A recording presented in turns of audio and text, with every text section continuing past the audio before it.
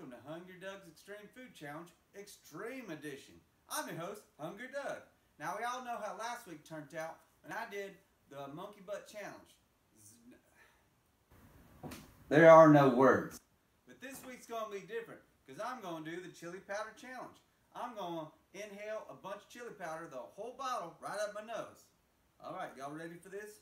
Cheers. Did I hear you're gonna stick my chili butter up your nose? God. Yes, it's for challenge. Boy, I need that chili powder for tacos tomorrow for Taco Tuesday. It's the law What's the law?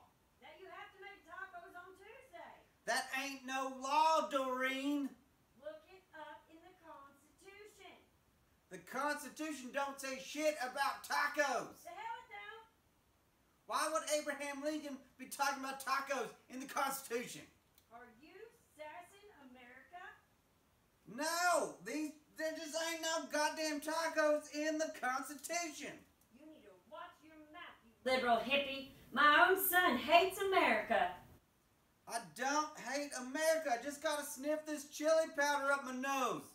And I need you to help me find my Astroglide. Magnum PI is on it. I'm getting hot. That is fucking disgusting, Doreen.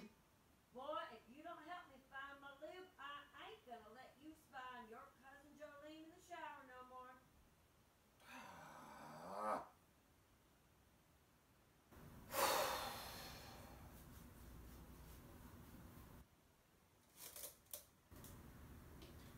Well, y'all, I gotta help my mama find her lube so she can get all hot and bothered by Magnum PI.